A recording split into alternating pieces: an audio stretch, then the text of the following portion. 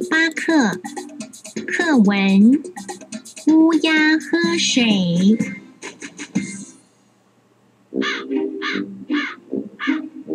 有一只爱唱歌的乌鸦，唱得口渴了。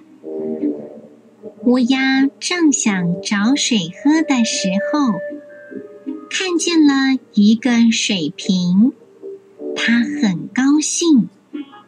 可是再看看，水瓶里只有一点点水，瓶口又小，它喝不到瓶里的水。